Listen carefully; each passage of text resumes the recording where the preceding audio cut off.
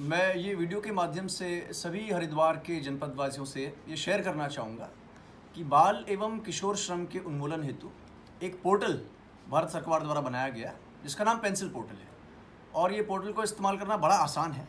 इसमें आप जैसे ही एंटर करेंगे, आप उस बाल मजदूर की एज, उसकी फ़ोटो, उसका वर्तमान पता, उसके एम्प्लॉयर का नाम बड़ी आसानी से अपलोड कर सकते हैं। जैसे ही आप ये सूचना डालेंगे तो हमारे ज़िले में जो इसके नोडल ऑफिसर हैं, उन तक ही सूचना आ जाएगी और हमारी जो टास्क फोर्स है, वो उस बच्चे तक पहुंचेगी, उसको रेस्क्यू भी करेगी और जो इसमें दंड का प्राविधान है, उस एम्प्लॉयर के विरुद्ध, उसका भी क्रियान्वयन करेगी। तो मेरा आपसे अनुरोध है कि आप कहीं भी ऐसा मामला अगर आपके प्रकाश में आता है तो इसका ज़रूर पेंसिल पोर्टल के माध्यम से हम तक पहुँचाएँ।